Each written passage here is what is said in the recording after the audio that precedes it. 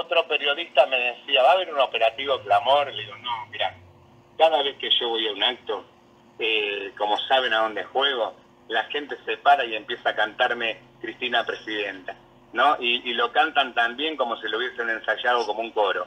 Y la verdad que eso viene de abajo.